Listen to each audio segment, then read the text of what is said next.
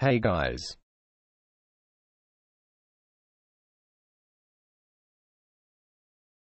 Warning look away now or the video will be spoiled the recording crashed so it shooted down auto.